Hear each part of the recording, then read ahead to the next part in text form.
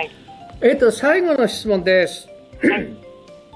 えっとこれからプロを目指す人に向向けてえっと、はいデビューするために、はい。えープロで、えーデビューするために最も必要なこと、最も必要な才能どんなことでしょうか？最も必要なことは、もちろん実力もそうですけども、あとは運、チャンスと、あと性格的な素直さ、柔軟性だと思いあます。ー柔軟性。あのはい。はい。えっと、その小説講座からデビューした人たちを見てても、本当に皆さん、あの、性格のいい方ばっかりなんですね。うん。えー宮部みゆきさんも同じ講座にいたんですけどうも、ん。宮部さん本当にあのいい人ですし、うん。あと篠田節子さんもあの ちょちょっと問題点あります。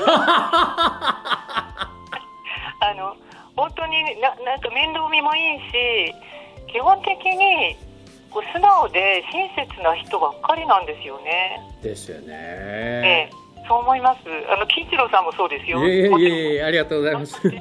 はい。いやーまあそんなようなところでえっ、と、うん、まあただい松本の実験簿、うんはい今日は本当にどうもありがとうございました。ありがとうございました。どうもすみませんどうもありがとうございました。はい、どうも。どうもどうも失礼しはいます。はい